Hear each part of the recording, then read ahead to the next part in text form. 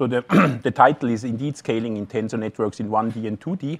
So I think this is the higher dimensional tensor network kind of um, session. So I will include a little bit of 2D in my talk, but more generally the outline is the, is the following. Um, so I think we will mostly work um, with, with kind of um, infinite system matrix product states and also infinite system PEPs. So I, am quite a fan of these um, ideas which have been introduced um, by Guifre and, and collaborators um, over the years. And I think it's a very interesting paradigm to do many body uh, physics. And I'm also uh, passionate about understanding conformal field theories in various circumstances. And it actually turns out that um, MPS, is particularly IMPS, and also IPEPs are a good framework actually um, to to investigate this challenging system, even though kind of, um, at least in 1D, they, they violate the area law mildly, so I might think this is a hard case, but I hope to show you that you can indeed get very accurate results, at least for the Ising model, but also uh, still decently accurate results uh, beyond the Ising model as well.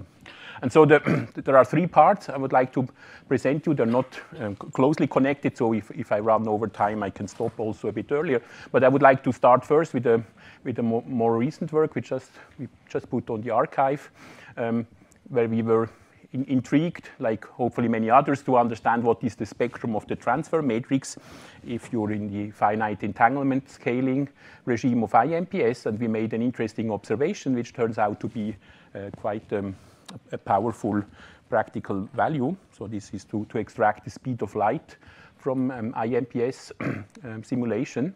So that's one, one um, project.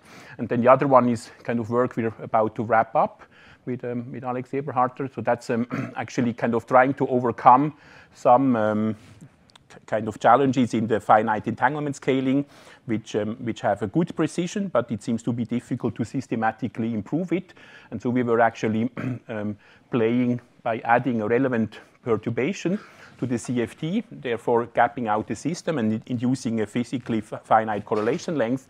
And then one can um, actually analyze MPS data with high accuracy as a function of this perturbation, and that turns out to be a, um, a quite an interesting handle also on critical systems in some, in some cases. And then in the end, I do justice to the higher dimensional part, and so that's work which is a bit older, but we, we have been uh, trying uh, to understand how one could generalize ideas which, which are called finite entanglement scaling in 1 plus 1D, but what is kind of um, a, a similar approach in, uh, for IPEP simulation. And so we, we and Philippe Corboz and Luca, Luca Tagliacozzo worked in parallel on the same uh, problem. And so we came up with this finite correlation length scaling um, approach. Okay, so that's um, kind of the menu for, for today. Let's start with the first part. And so this is this extracting the speed of light uh, from, from IMPS. And so let's, um, let, us discuss what actually the, the, the, first question was. Um, so here I, I, present you the motivation from the point of view um, um, that like historically, I think if you look in the old literature on, on DMRG at, at the time um, and also analyzing critical systems, you see in the early days, say in the, in the 90s when MPS DMRG at the time was, was around, uh, people were already then interested to measure central charge. But at the time, it was not understood that the entanglement entropy was governed by the central charge. Um, primarily. And so people actually use the Casimir effect. You see that's a famous result from conformal field theory. It's that kind of the ground state energy. Uh, it's, it's, extensive and it has an offset, um, um, but then there's also some correction to um, kind of which is governed by both the central charge and the, and the velocity. So you, you know that if you work in a Hamiltonian formulation of, of um, conformal field theory, then actually the space and time are, um, I mean, have the same power laws, but there's a prefactor which relates the two, the two directions. That's actually the speed of light or the speed of sound.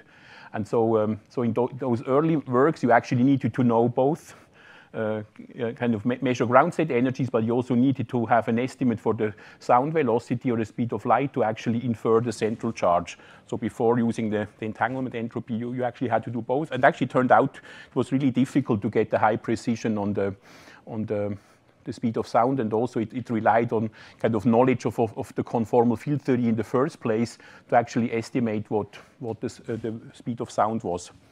Uh, then in recent years, there has been some, some work by the Ghent group, but also Laurens and I guess Jutho and, and Frank and others, um, basically um, constructing excitations and then investigating the, the, low momentum behavior of excitations. One can also infer uh, the speed of sound uh, to, to, some, some extent.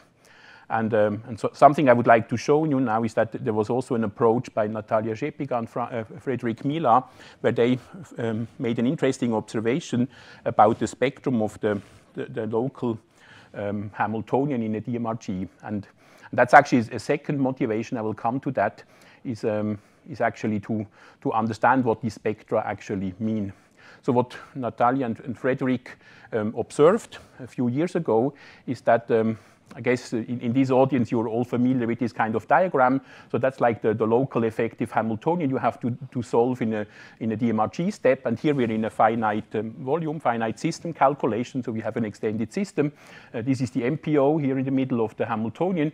And these are the tensors of, um, of the bra and the ket of your state. And so the effective Hamiltonian is this local object. You, you calculate its ground state given this environment. And then from this you derive the new the new um, kind of tensor for the next iteration. But something which is kind of interesting in that paper is that they actually looked at the, the spectrum of this local Hamiltonian. As I said, usually one just calculates the ground state, takes the eigenvector and, and goes on, but actually the, it turns out that the spectrum of that object itself is interesting. And so what they observed is that as a, as a function of iteration, there is actually a meaningful spectrum if you, if you stop in the middle of a system, so like a symmetric si situation like this, um, there's actually an interesting uh, spectrum here in the, in the middle, which is kind of converged up to some level, depends on the bond dimension, but, but the lower part is actually qu quite nicely confirmed, uh, converged, sorry. And, um, and actually this, this local spectrum is actually uh, the spectrum of a boundary CFT. So it, um, so it, it's kind of universal up to also a sound velocity.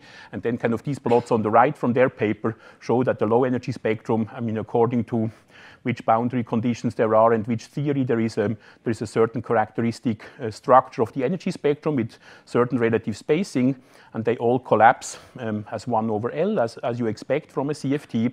Uh, and basically knowing what the scaling dimensions of the fields are, because you know the CFT, from the slope you can actually then infer the speed of light uh, that way. And so like these are two, two interesting aspects. One is that the, this local um, DMRG spectrum for kind of 20, more than 20 years that has been overlooked that it actually has interesting structure. And second, it's actually useful to extract the speed of light with some precision. Yes? But Andreas, is it fair to say that that, is, that has nothing to do with the MRG? That's the spectrum of the Hamiltonian that you are putting on a finite system?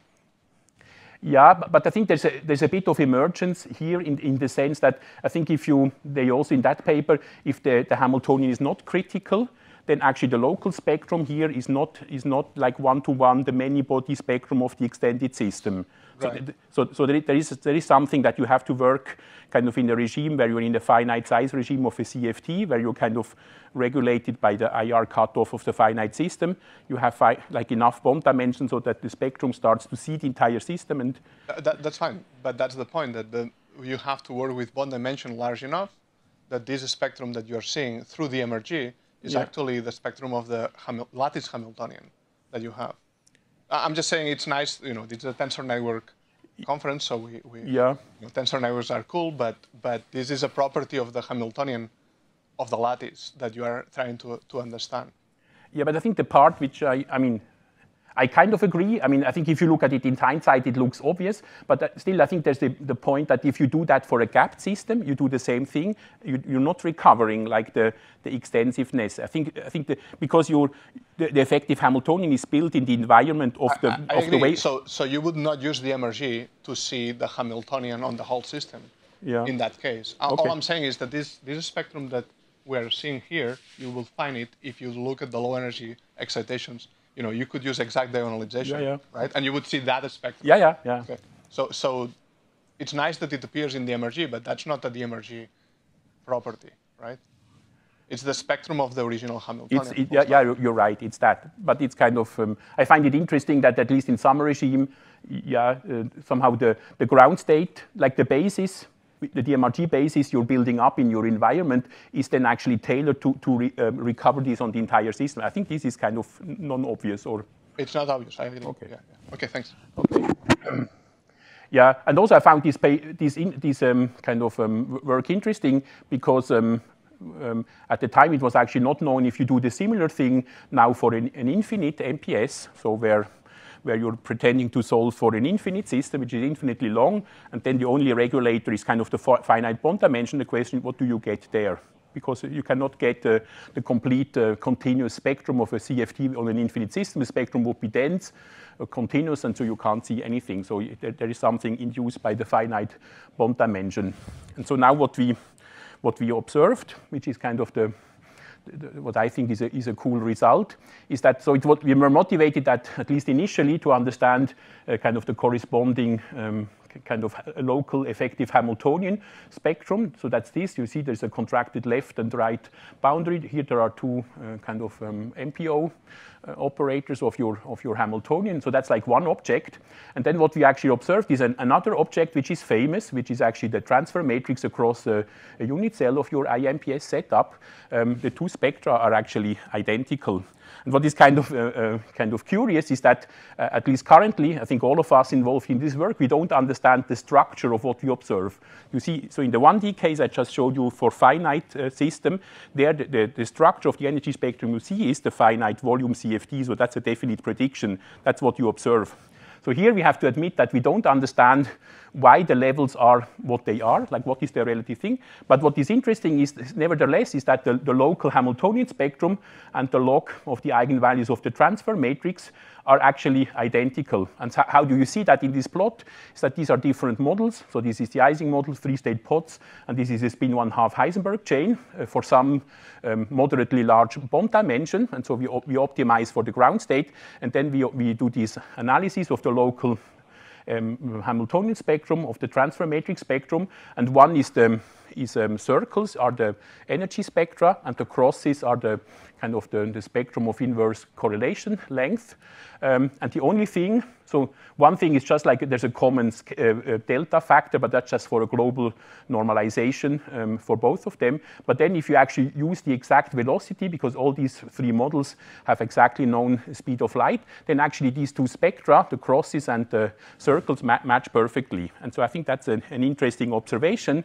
And, um, and then um, actually based on some path integral um, kind of um, a picture. Um, Laurens and Frank uh, kind of um, um, came up with, with uh, at least in a kind of in the Euclidean uh, situation, uh, kind of th that the two objects, like the Hamiltonian spectrum, which is kind of the log of the temporal transfer matrix, and the kind of the transfer matrix spectrum, or the log of it in the spatial direction, should be the same. And so, in the continuous time limit, there is also kind of some correspondence. That's also what uh, Luca and his collaborators uh, saw in a different context a while ago. And so, so that's like one part of the story is that the, the, two spectra, which kind of the structure of which we don't understand, but they are kind of identical up to a factor. And so then we, we thought, let's see whether we can turn that into a useful method to actually measure the, the speed of light. So we, we, we, calculate for a given Hamiltonian the two spectra, and we find what is kind of the scale factor which matches them, and that's how we can extract the speed of light. And so we now we show an application. So first we do some kind of re reference or some checking by doing the, the series of the Q-state Potts model. So Q equals 2 is, is kind of a synonym for the Ising model. Then Q equals 3 and 4 are still um, have a CFT at their critical point. And so here you can see some ac actual numbers. And so for the Ising model, um, using these procedures of actually like kind of um, checking what is the scale factor which relates the, the subleading eigenvalue of the transfer matrix with the subleading kind of the, the, the first gap in the local Hamiltonian spectrum, we can actually reproduce the, the velocity, the speed of light up to almost five, five digits. And it's also something like four digits or so for for the, the three-state Potts model and about um, three to four for the spin one-half Heisenberg model, and that's actually quite accurate. I think there are no co comparable uh, results at, uh, using tensor networks, and there also was a recent work using some uh, kind of RG Monte Carlo type approach by Roberto Carr and his, his collaborator, and uh, I think these results here are way more, more accurate. And then as an application here in the spin business, um, what, what, we did is now, now we can actually measure um, the, the speed of light or the spin wave velocity for uh, the half integer Heisenberg chain. So some of you might know that there is or was the Haldane conjecture that like um, um, integer spin chains have a gap, but half integer spin chains have no gap, and they flow to a, um, a C equals 1 CFT in the infrared. Um, and so with, with, kind of bare spin wave theory, you have some understanding that the spin wave velocity should like linearly increase. Uh, that's fine, but there's also kind of a more refined prediction that actually once you subtract off these two s, disproportionate to s, there's actually like a, a remnant um, kind of um, contribution to the speed of light, so some additional stiffening. And since we now have kind of quite accurate results for this um, speed of, of lights, we can actually check whether as, as we crank up s, and we go up to seven half, we can actually see that we're, we're getting close to this expected value, which is supposed to become exact at large, at large S. So I think that's an interesting application of things which, which um, yeah, were never calculated. One was never able to calculate that to high precision. And I think that's, we made one step forward in that direction. Question about that. Um, so Yeah. the method you use to get the speed of light here, is it just to demand that the spectra are equal in the previous slide? Is that how- Yes. Okay, so you just say that for them to be equal, there's a scaling, and that's how you. That's actually the method to explain. Yeah, exactly. Yeah. Okay, thanks. So like, like I mean, like if you, if you approach a new system, I think, um, I mean, here this is a plot, as you can see, there are like on the order of 10 or several tens of eigenstates in both uh, kind of spectra we calculate. I mean, this is just to convince ourselves that it's kind of conformal, the two spectra are the same. And once we're convinced of that, we can basically take any pair of corresponding state and extract its velocity. Turns out that the lowest one is usually the most accurate. That's the one we kind of quote as the number. Yes? So you mentioned that you have some physical understanding of why you expect the two to be the same. Could you say a few more words about that? Uh, Laurens, do you want to say something about that? No, but I mean, I mean, the, the idea here is is um, kind of okay. Perhaps you can't see the, but but here, if you like tr- trotterize the time evolution of um, of kind of a path integral representation, it's some imaginary time evolution. th- then, in some limits, you can convince yourself that the transfer matrix in space and the transfer matrix in time are, are the same up to um, kind of up to the scale factor. But one has to say um, you, you, see, you need some underlying picture that there's a CFT, that there's- there is kind of Euclidean invariance or, or something like that in the first place. And then once you kind of uh, wrap that into a tensor network, that's what you observe. But again, as I insisted, at least with the some questions on the 1D case. I think this is, I mean, this is an in, in emergent quantity. I mean, already on the very naive level, you see that the, the object, which is the Hamiltonian spectrum, and, and the, the transfer matrix are not identical objects. They don't even have the same bond uh, kind of dimension. So at some point, these spectra will, will deviate from each other. They're not, this is not an identity on the MPS level. It's an emergent property. If you, your MPS is somehow optimized to, to describe a CFT, then that what, that's what we get out.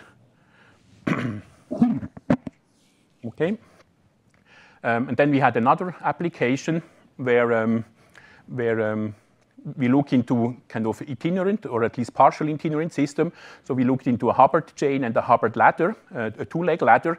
And um, so the Hubbard chain, for example, is an attractive U Hubbard chain. At that point, um, it has a spin gap, but there's a gapless uh, charge mode which is there. And then we, we can measure the, uh, that model is, is, is integrable, and then one can actually get, um, for example, the Luttinger, uh, the speed of here. Sorry, here is the speed of light. We can get the speed of light from a, a comparison with the Bethe ansatz case. But this is just to show that here for the Hubbard chain, it's a it's a system which has more degrees of freedom than just like the, the spin models we looked at. And so even there's a, a gap in the charge sector, uh, sorry, in the spin sector, then the charge sector still shows this emergent behavior, and we're, we're quite close to the Bethe ansatz result.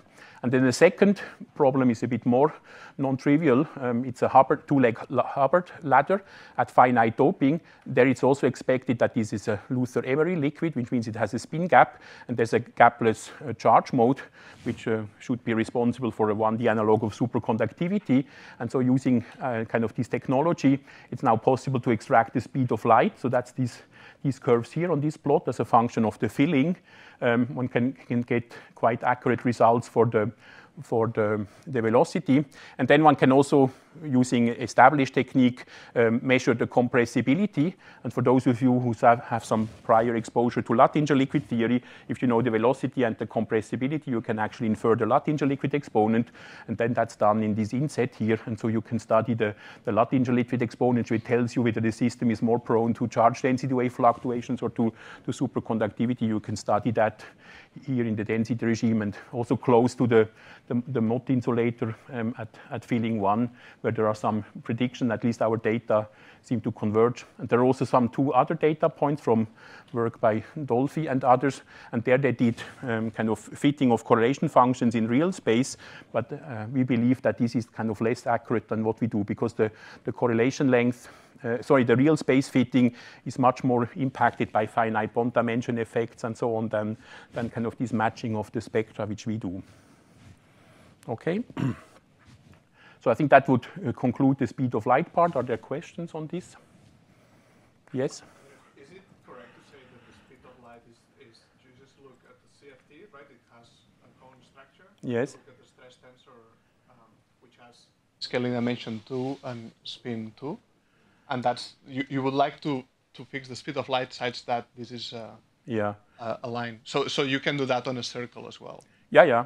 Um, right. So so I think what you're saying is that you understood how to do that with the scaling of one dimension um, to the third power, which allows you to reach much more precision. But I mean, there were previous methods on the circle yeah. with periodic boundary periodic MPS. Yeah, yeah. Where so this, this could be you, done. You were part of those, I guess. Well, I don't remember.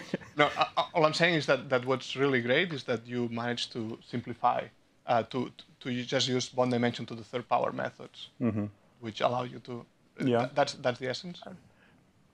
Yeah, I think I'm, I'm, excited about results for two reasons. So I think one is what you just said. I think it's of practical value. It, it, allows you in a cheaper way to get, in case you're interested by this quantity, it's non-universal, but say in a condensed matter or a, a, kind of cold atomic gases, sometimes we're interested in those numbers just because they tell us like what temperature, what, yeah. uh, and so on. So I think it's interesting. And the other thing is also that at least I, because I'm um, yeah, I, I, was just kind of fascinated by these. No, I think there are two spectra which, at least currently, we don't understand, but they're actually the same. And I, I mean, it's kind of my personal fascinations in doing numerics. Every now and then, I stumble over kind of things which have to do with field theories, and somehow you do kind of naively linear algebra in some more or less complicated way, and suddenly you get the glimpse of, of uh, field theory structures or emergent kind of things which are the same, even though microscopic. This is fascinating. So I don't know.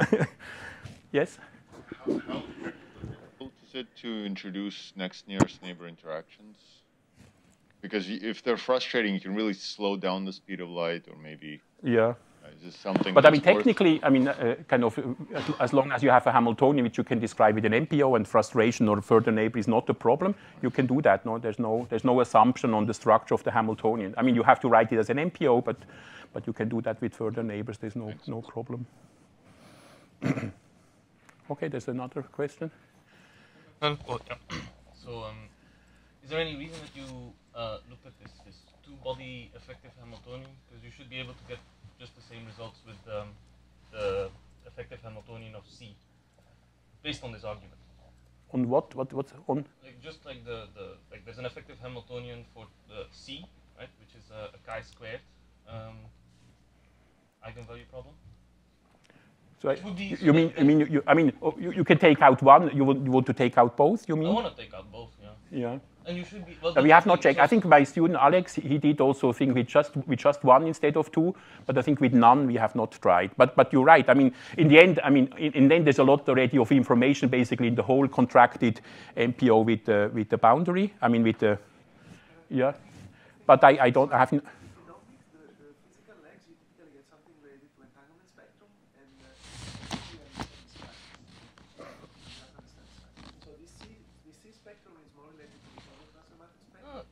not the spectrum of C, it's the spectrum of the C eigenvalue problem. Yeah, yes, the, ah. the effective Hamiltonian on C, right? Yes. I, I say that this is related to a corner transfer matrix spectrum, so to an entangled spectrum that we understand the structure. Whether this transfer matrix spectrum here, we don't understand the structure. Really? When you mix, when you mix the scale, physical and virtual, we don't understand. When we only have the, the virtual, typically it, it, well represented by some kind of uh, so you're referring to the spectrum of C itself, because it's not of the environment. No? But this, Basically, this thing is where you just leave out h's small h's. Yeah. You still have the actual line with the MPO. yeah, exactly. The, the whole MPO is actually contracted apart from the central um, stuff. I think even if you leave it out, it's, it's You wouldn't have physical legs with the Hamiltonian. It's still in there. Yeah, yeah, yeah, but, but I think I think that's that's relevant. So what is relevant if you talk to Well- the uh, to the ultraviolet scale or not? I think so. In principle, your body structure scale is uh, somehow uh, infrared, and so if you don't have physical legs in there, uh, But, but I mean, the easiest we, we, can, we can check it in actual calculation. So perhaps I, we can discuss this late, later. Okay. so just to say, like based on your argument, it should be the same spectrum, right? So it cannot be that you can explain this uh, the, the just eigenvalue problem for C that you understand this spectrum completely, but not this spectrum because they should be the same based on this argument. yeah. Also, just But, but I'm also inclined to believe your suggestion. It might actually be that if we completely take this out, then, then it's, uh, it, should, it should and it actually. should even be like if, if you say like you, you were saying like the, the two spectra should be kind of the same, but it's clear that they cannot be the same because they're not even the same bond dimension. Yeah, yeah, then that's So a way to make it the same circumvent that. Indeed. So Yeah. maybe th- this will work slightly better. Kind of. Okay, yeah, thanks for the suggestion. Huh? I mean, from a pragmatic uh, point of view, it's just that, I mean, in, in uh, kind of in existing IMPS implementation, something like that actually pops up. So in that sense, like the, the change is really minimal. I mean, okay, we can discuss how much of a of thing it is, but I it's also something I, I just want to, I, I forgot to mention. But this is kind of not a new algorithm in the sense that you have to like invest a lot of kind of a new algorithm to do that. You basically just have to, in, in one step, instead of just getting the ground state in your, when you do a DMRG step, uh, say at, at the end or something in an evaluation run, you, you somehow just compute the low-lying spectrum of your effective Ha- Hamiltonian, and then you're ready to go and, and do this analysis. So it, it doesn't, there's not a, a large overhead in somehow implement, implementing something new to, to get access to this information. Okay? and so now, um, now I, I would like to, to switch to the, to the next topic. And so this is, um, so I will briefly talk about finite entanglement uh, uh, scaling. I mean, Luca already gave us an introduction yesterday, and they will point out that even though this works quite well, I think there's still some room for kind of systematic improvement, and we try to, to circumvent or to find a way to, to, to, to do that, at least in some simple cases. And um, so this is kind of a one or two slide uh, summary of, of how this finite entanglement scaling works. So, so first of all, we're working again in the infinite system MPS version. So we're not talking about finite system, but infinite system. And then um, since critical system cannot be described by a, a finite bond dimension infinitely accurately, um, there's kind of some effect of that. And it has been uh, observed by Luca and also by Frank and company that um, that kind of there's an empirical or almost or semi-empirical relation between the, the induced correlation length in your MPS and the, the bond dimension in your system, and with the with the exponent kappa, and from some kind of entanglement spectrum scaling arguments by Lefevre and Calabrese, uh, you can you can kind of come up with this uh, exponent kappa, which depends only on the central charge, and so somehow the yeah, yeah this, this exponent here um, will change if your central charge of the theory uh, changes, but you have a power law relation between the correlation length and the, and the bond dimension you put into your system. And then the, as it's known, no, once you have a finite correlation length, this also regulates or, or cuts off your entanglement entropy, and you have these, um, these entanglement scaling with either the, the correlation length, then it's just C over 6, or if you replace xi, uh, xi with d to the kappa, then you can pull out ka- kappa, and then you get this um, scaling with the log of d.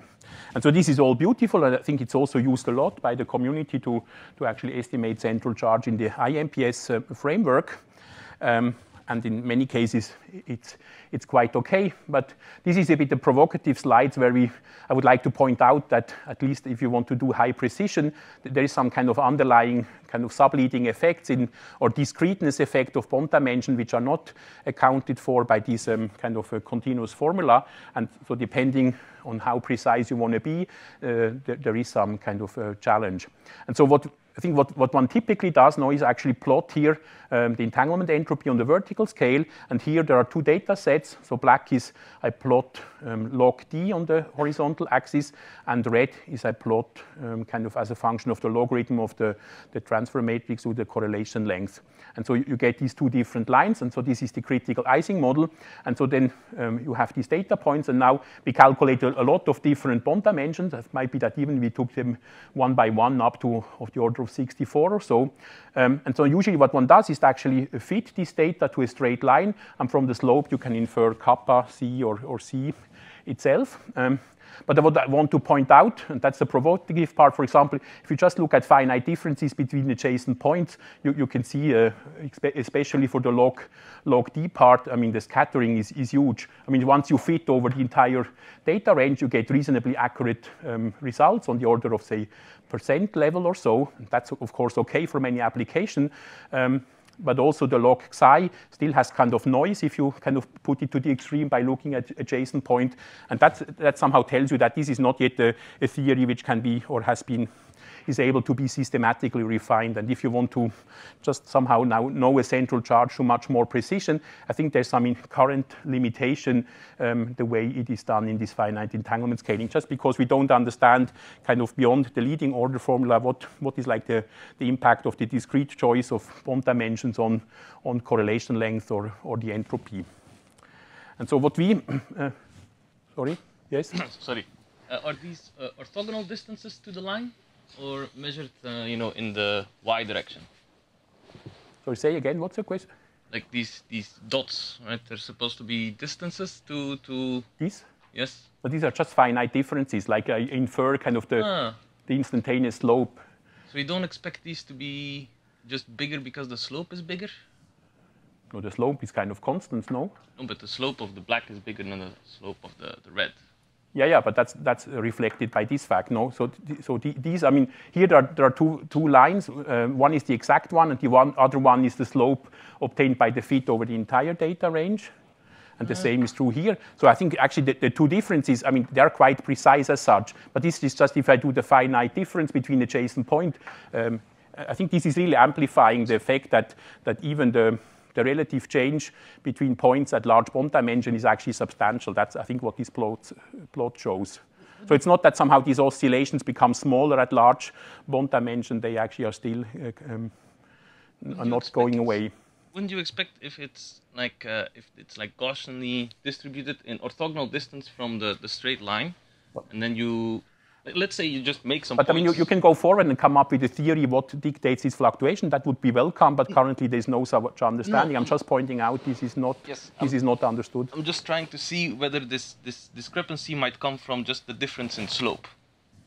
Like if you if really the, the if the, the distances orthogonal distance to the line was just the same, but you would make this plot, would you just because the slope is different, would it look like there's a difference? That's the thing that I'm wondering.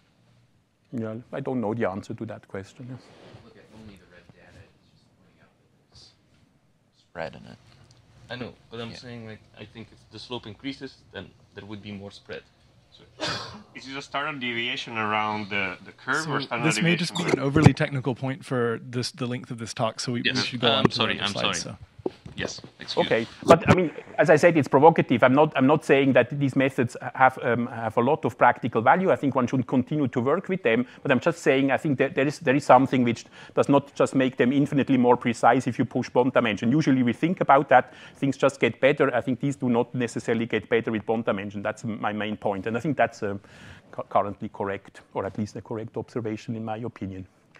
Okay, and so now what we do next is, is kind of the, the idea we, we bring in. I mean, the idea itself is not new, but it's perhaps new in this particular context. So um, you see there are different ways to, to kind of um, regulate the CFT or to kind of go away from it. So we, we now know from this prior work that once you have a finite bond dimension, correlation length is, is finite because of that and then you can analyze the data, um, even though all the details are not understood.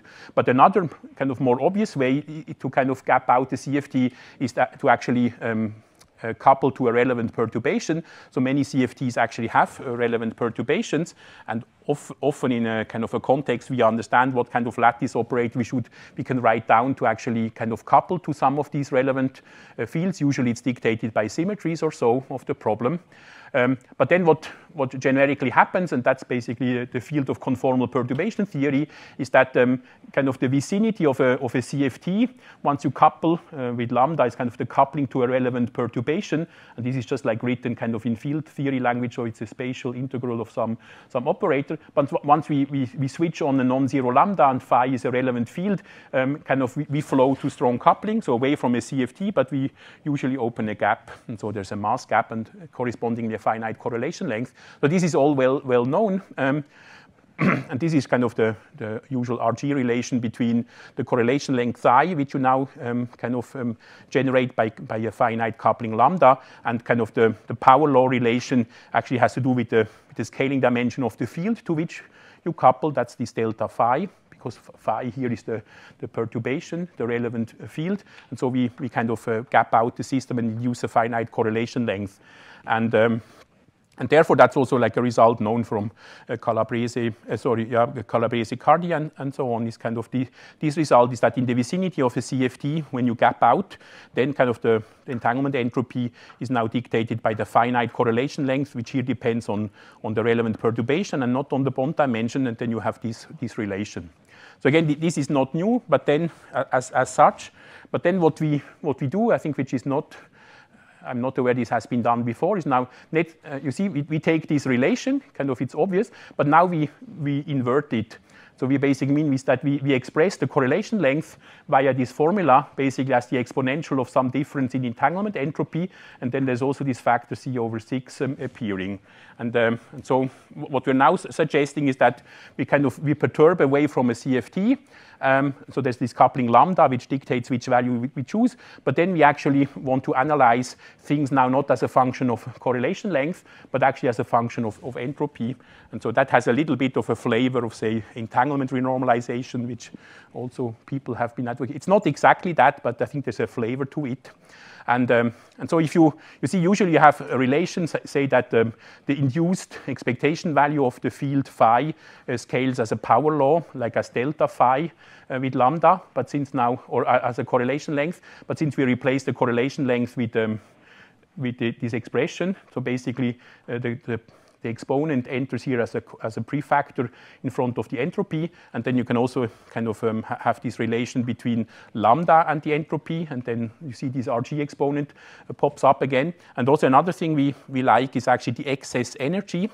Um, you could argue that at the CFT, you have like your reference of the energy, and then if you perturb your wave function away from the CFT, and you ask what is, is its variational energy still at the CFT, then because of the variational principle, it has to be positive, and so the excess energy is actually also controlled by the by the correlation length. And since the energy, uh, as Guifré said, is that it's related to the stress energy tensor with the scaling dimension 2 for these CFTs. And so here the, the, the scaling dimension is not known, but it's 2.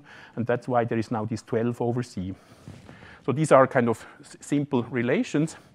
And if you make them a bit more, more precise, so in the end, what is the point is that we, we do simulations for different values of lambda. We can then measure um, kind of excess energies or, or also local magnetizations, or here it's deviations of magnetizations.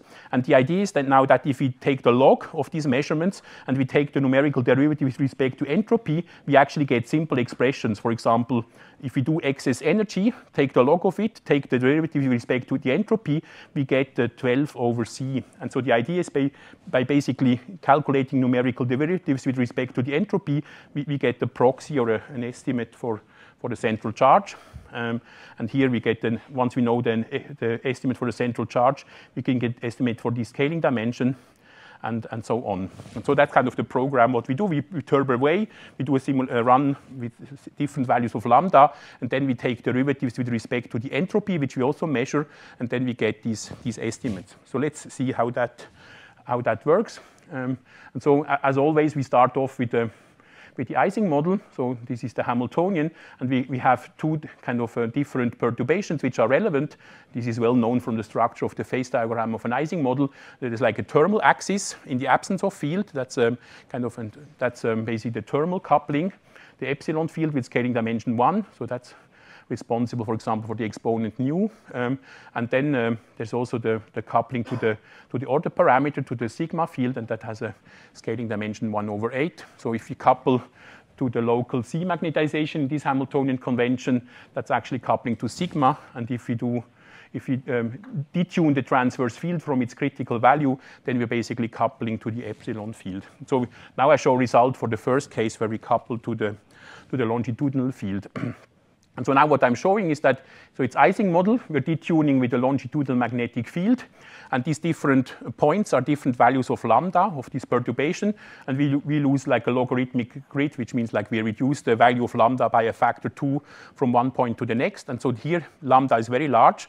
Basically, our spins are all, all pointing up because that's what the effect of the longitudinal field, and then we, we reduce lambda more and more, and so this is just bond dimension 4, so it's ridiculously small. And here on the axis, I plot the entropy of the optimized MPS bond dimension 4 for different values of lambda.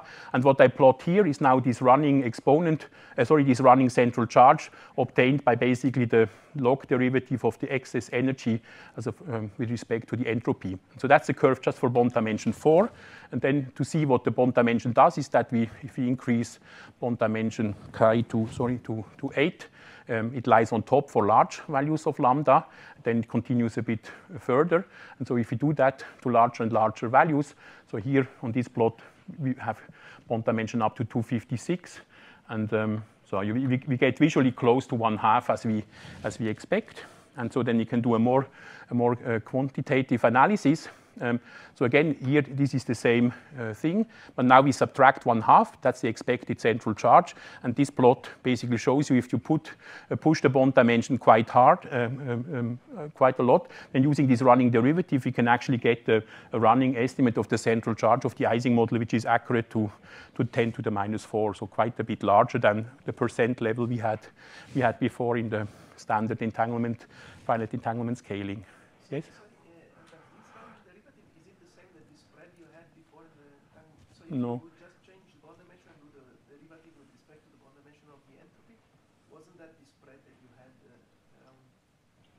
I don't think so, but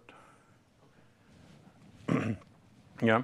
And so, so this is the, the central charge, but then we can also do, um, for example, get the corresponding estimate for the scaling dimension of the sigma field, um, 1 over 8 um, which is expected. And here, here you can also see it's getting very accurate. And I think here we are approaching something like 10 to the minus 8. That's also extremely um, accurate.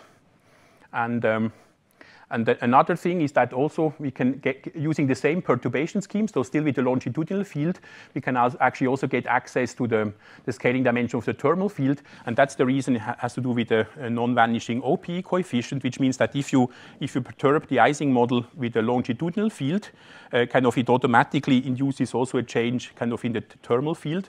And so we can basically measure what is kind of the sigma x, how does the sigma x expectation value change with respect to the value at criticality and that, that, that change is also governed by a, by a power law, and it's basically controlled by the scaling dimensions of the, of the thermal field. So we know that one is 1, so we can also check, and so here you see the 10 to the minus 1, 3, so this is about 10 to the minus 4, I would say, and so we're, we're getting on the order of 10 to the minus 4 um, for this. So here this is just kind of a, I mean, it's an accurate um, proof of principle or demonstration that this works.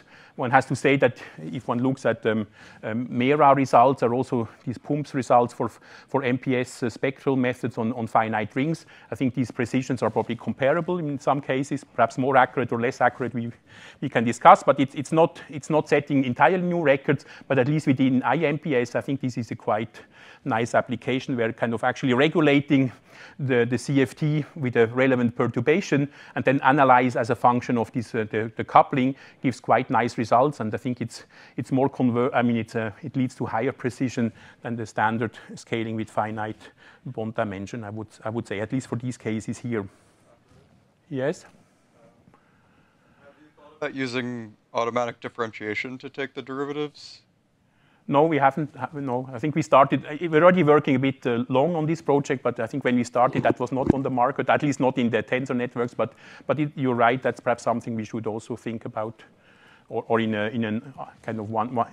If someone is interested to put this into production, there are probably improvements like what you suggest to use AD to to push that, yeah. Because it's, it's true, I didn't mention it, but, but of course these are done using kind of a more or less naive finite difference formulas in entropy. So there's also a discretization error, which I don't, um, but, but I mean, it's not so dramatic because these derivatives anyway go down. So I think usually it's just like a, a prefactor. It's not somehow changing the orders of magnitude of the correction, but it's something which one should take into account as well. okay. Um, and this is um, kind of just a, a, non-trivial application. So this is again uh, kind of Heisenberg spin chain. So this Haldane conjecture which popped up in the first part um, as well. And so you see Haldane conjecture basically maps um, the, the, physics of these um, um, spin chains. So it's Heisenberg spin chains with various values of s. And as I told you, for half integer s, you would expect that in the infrared, so at long distance, um, your, um, your chain goes to a c equals 1 CFT, uh, whereas the, the integer spins actually go gapped that's, that's, that's, that's kind of the answer what happens in infrared, but actually in the UV or as, as the, at intermediate scales, actually the, the theory of the nonlinear sigma model would actually say that this system almost looks like two massless fields. So it actually has an effective central charge of two at intermediate scales. And only in the infrared, you either go to C equals one because you go to this Wess-Zumino-Witten theory, or you go gapped and then the central charge is kind of zero. And what, what I like is that here, kind of this is, this is all visible in this plot. So what we do is again, we calculate the running central charge by, by the same means, and um, we look at different spin chains. And now what we're doing is that the, the Heisenberg spin chain are actually one of the very relevant perturbations is to apply a staggered magnetic field because they, they want to be almost antiferromagnetic. So if you actually have a, a staggered magnetic field, it gaps out immediately. Um, and so that's basically the perturbation we do. Again, these different points are different values of the, of the perturbation. Um, and so now what is nice is that if we do that for spin one half, um, it's what, what you expect. It starts at zero, it overshoots slightly, but then it approaches c equals one as it should, because the Heisenberg spin a half chain is known to be have c equals a half. And then if you do spin one, um, it, it rises the same thing, it overshoots, and then at some point it breaks down because spin one chain is gapped, as we all know. Um, but then we, we can continue this game. So spin 3 half, actually it, rises from 0, then it hovers somewhat, um, uh, uh, somewhat uh, above 2, and then it slowly drifts and crosses over to c equals 1. So I think that's a, a quite nice illustration that somehow at, in the UV or at the intermediate scales you're almost at 2, and then you, you somehow, there's a crossover flow to c equals 1. Um, and then you, you do spin 2. So spin 2 also joins, I mean, does the same as spin 3 half for a while, and then it also overshoots and it breaks down because, again, it has a gap. Um, and then the other ones which we can reach, so spin 5 half and spin 3, they actually uh, follow this uh, thick dashed line, which is actually the, uh, the spin wave theory. And that one goes indeed to this C equals 2 because it's effectively two massless bosons. Um, and so that's kind of the intermediate scale prediction, and that's kind of this um, I think you see this C equals 2 is also, you can call it asymptotic freedom in the nonlinear sigma model. And so that's something you can actually see through, through this analysis. And I think that's also a nice way to, to see these concepts at work. Like at intermediate scales, you, if you crank up S, the intermediate scale has C equals 2. And then the infrared, you either flow down to 1 or you, you go to, to a gap and C goes to 0. So you see this kind of Haldane conjecture at work and uh, kind of some result from the nonlinear sigma model pop up here.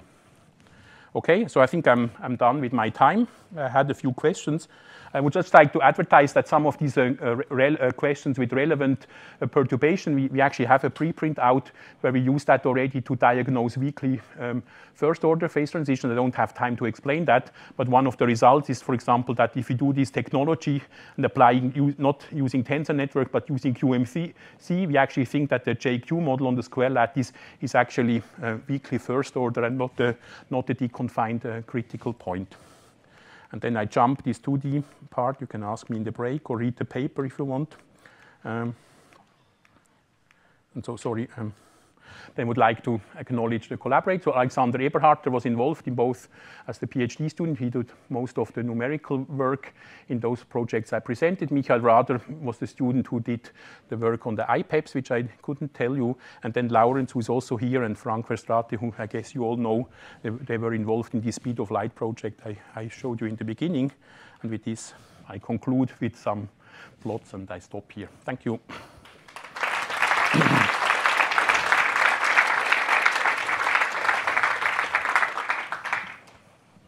Okay, let's just take like one question. So, does someone have a question after Andreas' talk? We already had a few during the talk. Yes. Why the entanglement scaling doesn't necessarily improve with bond dimension, but when you scale it with the entanglement entropy, the error is controlled. Like, Yeah, I mean, the, the two things are different is that the, the source of regulating make entanglement entropy finite is not the same in the two schemes. One, it's really like a relevant perturbation, and then on kind of on more conventional physical grounds, you expect the correlation length to be finite, and then you can work with the bond dimension which is large enough so that that it's not the bond truncation effects do not show up. I think the main reason is that we, have like a leading order or, um, understanding of what is the impact of, a finite bond dimension on an infinite MPS, but we don't have a, theory which can be systematically refined. So I think it's correct. It's like a good, a good uh, effective theory, but we don't know what, what additional terms or corrections we have to take into account to make that uh, uh, theory or that description more accurate. I think we're lacking the next step or the next orders in whatever that expansion might be. Thank you.